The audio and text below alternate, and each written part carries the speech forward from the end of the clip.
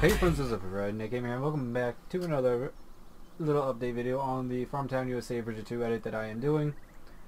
And I know this is kind of weird for me just to be flying above a field, but this has to do with the sky. So if you pay attention, the clouds are actually moving now. I installed the dynamic sky uh, texture or mod, whatever you want to call it. it's not really a mod because you have to do some XML work and change some textures in the uh, in the map folder.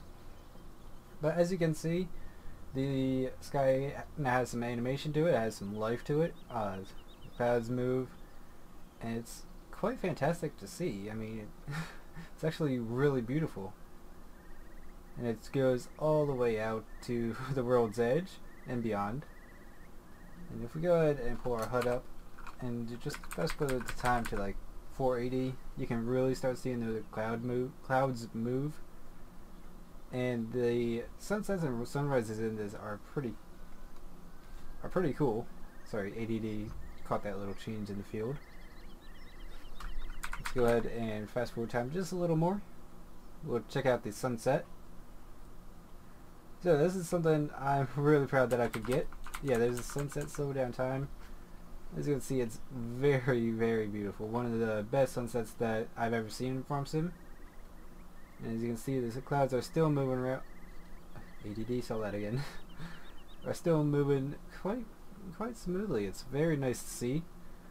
For me, this adds like a whole, whole. No, it adds something to the game. I mean, you look up to the sky when you're just plowing through the field, not really nothing to look at. So you look to the sky and you actually see some movement up there instead of just clouds staying there. I mean, don't get me wrong. This this map had beautiful sky textures before, but it didn't have the dynamic sky. so that's going to do it for this little update on the Farmtown edit. It should be coming out to you guys very, very soon. Just working out a few more things. Uh, making sure I added everything I want to. Make sure the things that I have added are the way I want them to be. So, that is going to do it. If you guys have enjoyed, please like, dislike, comment, subscribe if you're not already subscribed. If you are already subscribed, click the bell icon so you're notified of when I upload and or stream. And put in the comments if there's uh, anything else you want. Give me some feedback on the uh, sky textures. I think they're pretty cool.